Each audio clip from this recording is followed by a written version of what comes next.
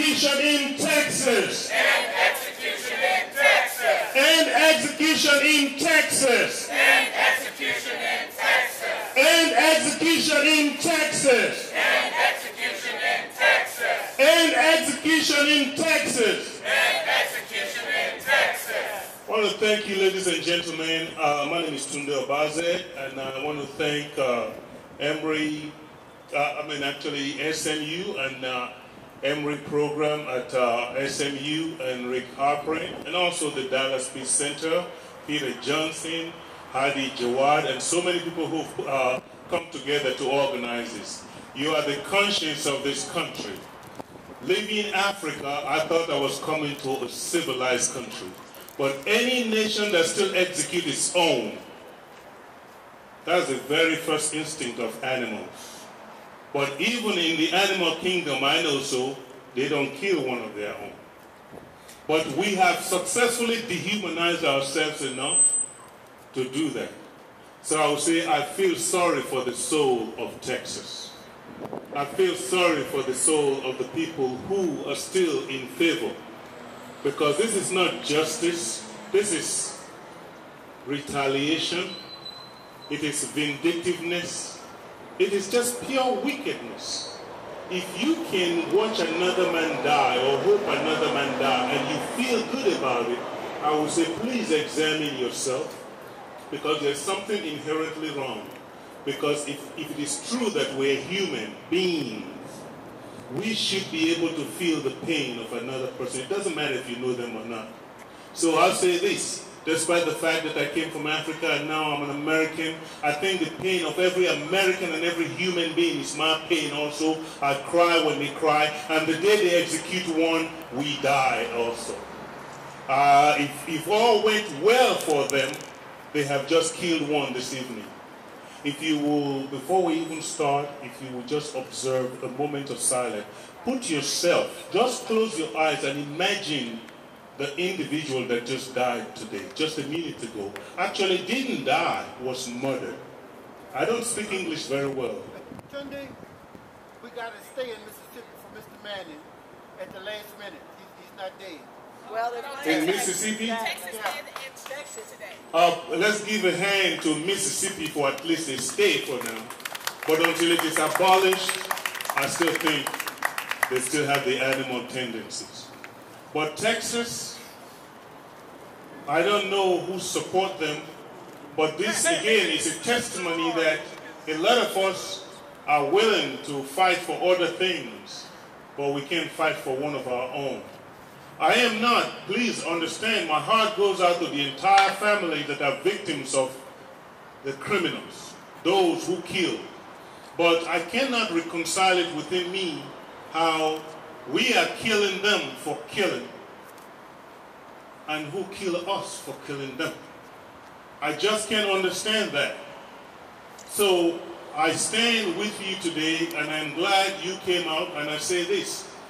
You are diamonds in this earth to be here. Every one of you, you, you represent a million people. So it doesn't matter what the crowd is. What changed this country, it didn't take everybody. I am sure slavery will not be over in this country if it had to be by popular vote. It took people of conscience. So I'll first of all call our honorable leader, a man who's got great conscience, a fellow prisoner of conscience, a, a brother from another mother, Rick Halperin. Please put your hands together for him.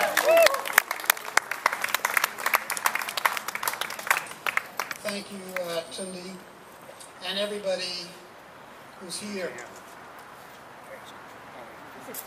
I would ask for at least 60 seconds or longer, a bit longer, if we re- remember all victims of violence, not just Carroll Parr, who was put to death tonight in Texas as the 497th person in this state to meet that tragic end. But I would ask that we commemorate with a moment of silence all victims of all violence, be it individual violence, state violence, or governmental violence.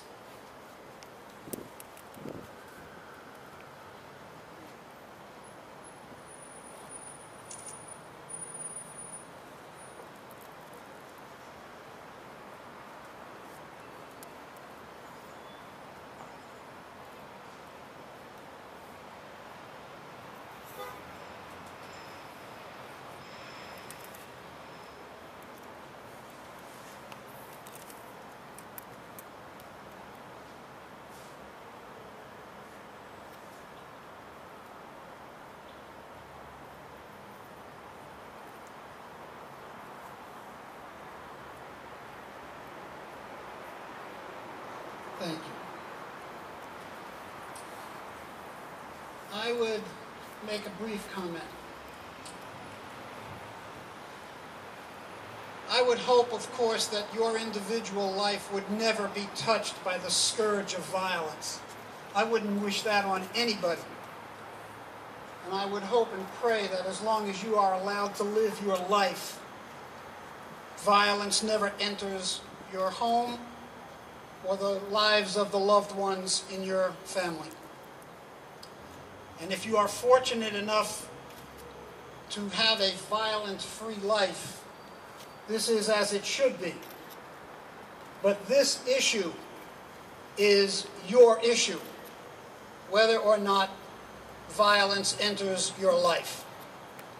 I would argue that this is the most basic civil rights issue, the most basic human rights issue. It is the number one problem in America today. The fact that governments, this state, and others can put people to death in the name of laws which are racist, archaic, barbaric, and it doesn't seem to matter whether the individual is guilty, mentally ill, profoundly mentally ill, or even flat out innocent. If this doesn't trouble the individual conscience, and if this doesn't trouble the conscience of this country, we're in more trouble than we realize. And this is your issue because it becomes your issue every time you go to pull a lever in a voting booth. I would argue that as people of goodwill and of good conscience, you should ask yourself, what does it mean for me to support somebody at the ballot box that is willing to kill people in the name of the law? I think it would say something dark, nefarious, and disturbing that we don't seem to be troubled enough to keep these people out of office. This is your duty and mine. There's no such thing as a person who can be good on human rights. And you cannot be good on civil rights if you believe it's okay to exterminate people in the name of the law. You must be seen for who you are an enemy of human rights and an enemy to societal progress. Societies, this country, it's like a human being. All people are expected at some point, at least by the time they're 18, people are expected to get beyond the infant stage stand up as young adults, become an adult in the name of the law, and become responsible. We are encouraged to become good people with a good heart, to go through our lives and not hurt anybody, not to cause hurt, and to do all that we can to stop hurt. And countries are no different, except unfortunately they seem to take forever to grow up, including this country which is still apparently in its infantile stages. And we are led by children, not adults. We are led by bullies that think it's okay to hurt and kill people and be elected to office. This country will never be free as long as it kills people in the name of the law. We are enslaved by violence, enslaved by this cultural mentality to kill people. It's time for Rick Perry, as the current governor of this state, to grow up and end the death penalty in Texas. Yeah. It's time for the Texas Board of Pardons and Paroles to grow up and commute death sentences. It's time for this DA in this city and all DAs like him in this state and across the country to grow up and stop seeking death sentences when alternative sentences are just as readily available to keep this country safe without killing people. And I dare say it is time for our president himself to grow the hell up and stop appointing justices who believe it's okay to kill people.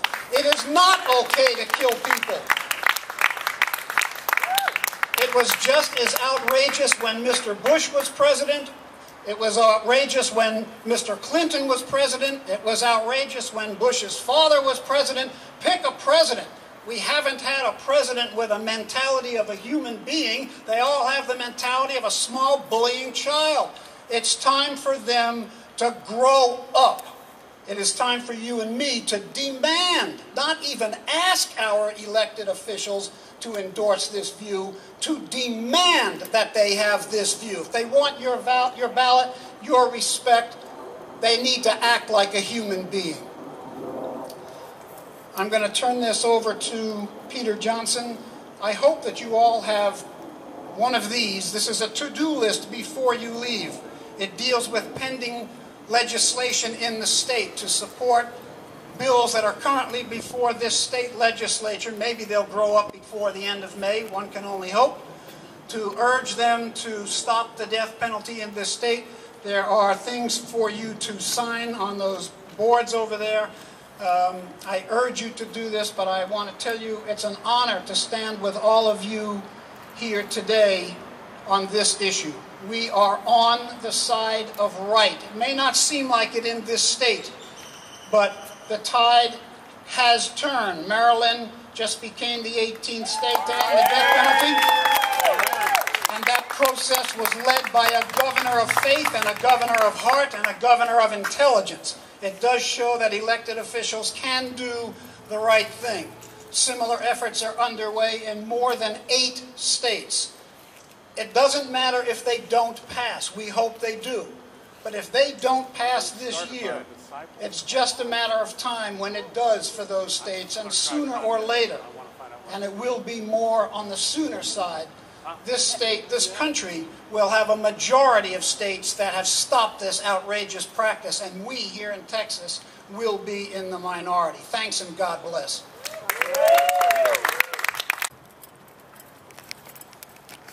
Good afternoon, everybody. Hey, Peter. All right. Some of you all I've known a very long time. John Fullinwider, I guess almost 40 years, brother. Sister Patricia, we've been on this battlefield against racism and sexism and materialism, uh, materialism and militarism for a long time. Most of you all have heard me speak about violence and my commitment to nonviolence and how through nonviolence and understanding will begin to change our nation. I also want to welcome my sister from the Black Panther Party.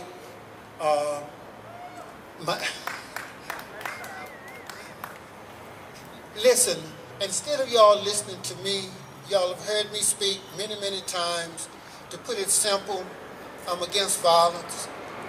Uh, I don't think we can solve problems by killing each other, whether it's the state of Texas or whether it's the Crips and the Bloods.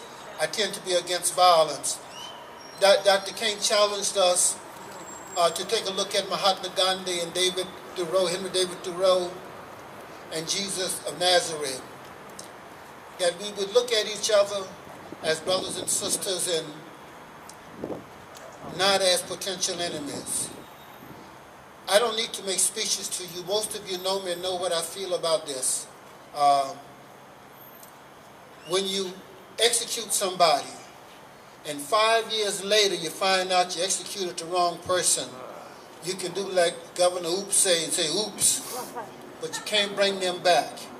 If you put somebody in prison for the rest of their lives and five years later you found out you put the wrong person in jail, you can release them pay them for the time they spend in jail, and apologize. But once you execute them, that's a final decision you've made about their lives. Uh, what I would like to do, with your permission, is ask my sister Faisal Iman. Iman, I just saw you come. I asked Iman to send a message to all of the Muslim temples in the southern section, what she did. And I asked her also to come and lift her lovely voice uh, on this issue. And I've got some other friends here, some who are ex-offenders, been in the Texas penal system, that I want y'all to give an opportunity. Welcome my sister Iman. All right.